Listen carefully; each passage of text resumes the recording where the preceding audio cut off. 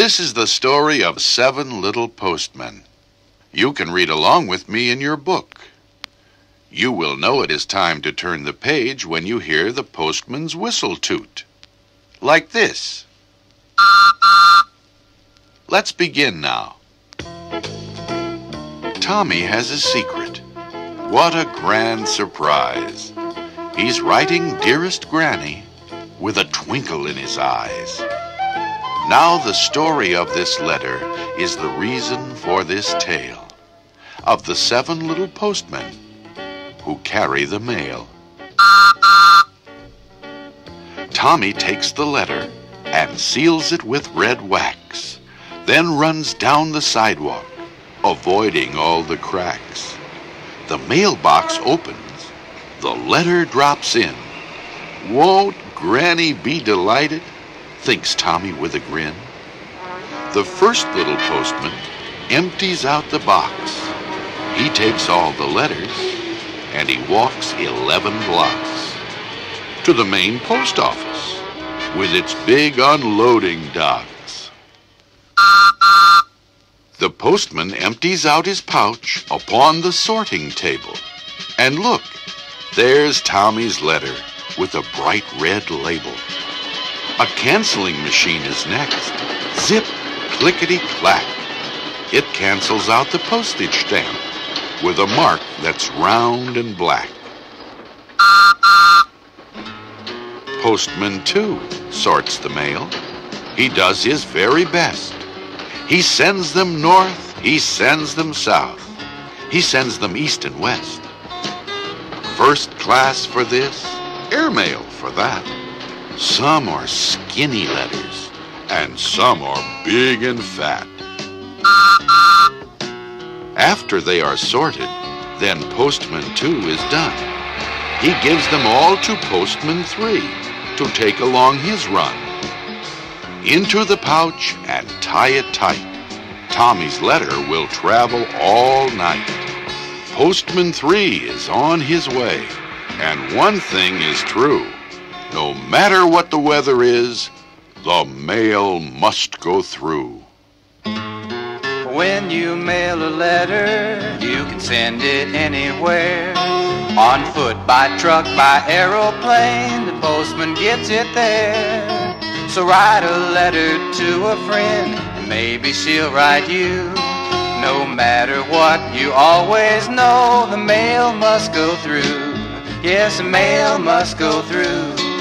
The mail must go through. No matter if it rains or snows, the mail must go through. I said the mail must go through. The mail must go through. No matter if it rains or snows, the mail must go through.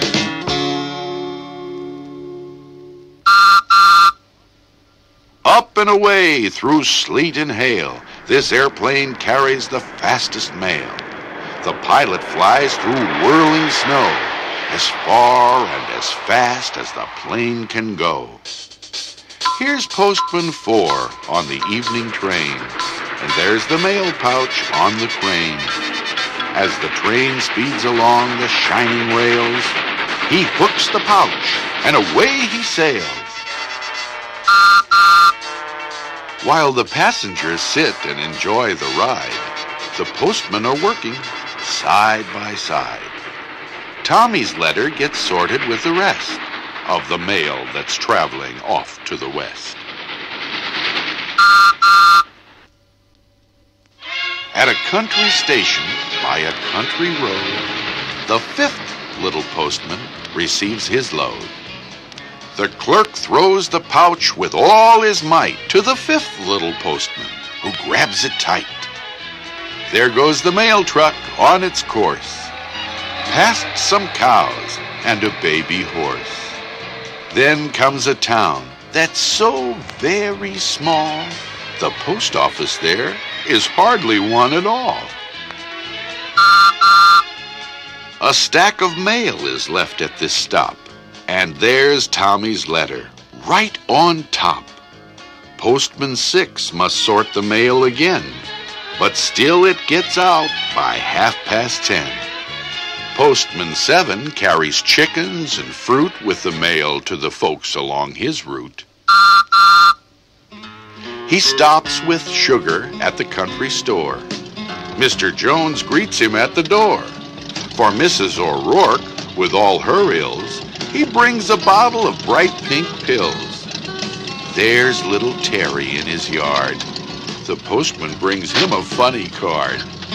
There's something for Sally, and something for Sam, and a recipe for Mrs. Ben for raspberry jam. There were dozens of chickens for jolly Mrs. Pickens, and a dress for a party for Mrs. McCarty. At the last house along the way sat the grandmother of the boy who had sent the letter. She had been wishing all day Tommy would come to visit, for she lived alone in a tiny house and sometimes felt quite lonely. Then she heard the postman's whistle. Land sakes! Why, it must be Charlie with some mail for me. Sure enough, there was the letter with the red wax. Good gracious! I wonder who sent me this fancy letter. So she opened it up, and here's what it said. Dearest Granny, I am writing to say that I'm coming to visit on Saturday. My cat has seven kittens, and I am bringing one to you for your very own kitten. The postman is my friend. Your grandson, Thomas. Well, Granny got her letter. The story is all through. So the seven little postmen say goodbye to you. When you mail a letter, you can send it anywhere. On foot, by truck, by aeroplane, the postman gets it there. So write a letter to a friend, maybe she'll write you. No matter what, you always know the mail must go through. Well, the mail must go through. The mail must go through. No matter if it rains or snows, the mail must go through. I said the mail must go through. The mail must go through. No matter if it rains or snows, the mail must go through. Some folks live in the city, some live in a little town. Even if you live out on a farm, that's a postman making his rounds. So mail someone a letter, even just a card will do. You know it's nice when the postman has a letter in his sack for you. Because the mail must go through, the mail must go through.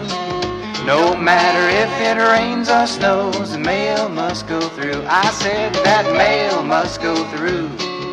The mail must go through.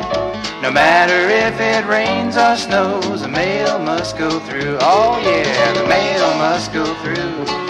The mail must go through. No matter if it rains or snows, the mail must go through. You know that the mail must go through. The mail must go through.